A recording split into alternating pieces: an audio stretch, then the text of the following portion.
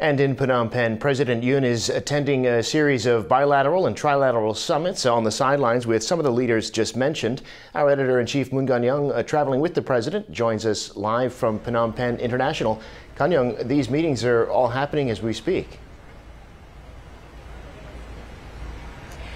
You're right, Devin. Uh, leaders of South Korea, U.S., and Japan will be meeting on the sidelines of the East Asia Summit here in Phnom Penh on the third and final day of President Yoon's visit here. In fact, it's the final hours of his visit here, uh, hoping to uh, come up with a joint effort, coordinate efforts between the three to rein in North Korea's growing threats. Uh, mind you, they met, the trio met on the sidelines of the NATO summit back in Madrid back in June. Then they also pledged to uh, enhance cooperation, security cooperation, especially between South Korea and Japan.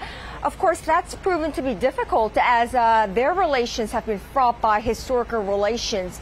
However, with the recent um, recent upping of North Korea's uh, tensions and North Korea's provocations, it has become imperative that their cooperation needs to be upgraded to another level. And President Biden appears to have called for another trilateral uh, talks between the three due to that. Now, on top of that, it comes on the eve of a high stakes meeting between President Biden and Chinese President Xi Jinping that will be happening on the sidelines of the G20 summit in Bali.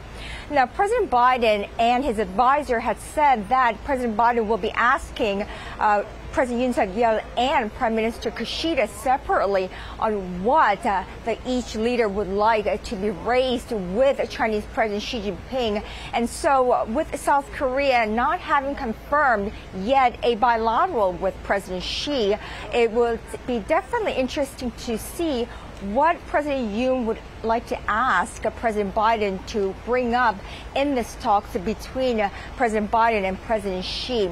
Now, uh, of course, uh, right now as we speak, uh, Presidents Biden and President Yoon Suk-yeol are meeting, and between that bilateral, and not only do we expect North Korea to uh, be brought up, but we expect President Yoon Suk-yeol to bring up the issue of Biden's Inflation Reduction Act. Now, that is uh, South Korea's growing concern, and the especially South Korean manufacturers' growing concern over the possible negative impact by that act on South Korean manufacturers. South Korean President Yoon Suk-yeol is expected to bring that issue up, and we'll have to wait and see how much President Biden uh, is willing to talk about that and bring up a solution to that.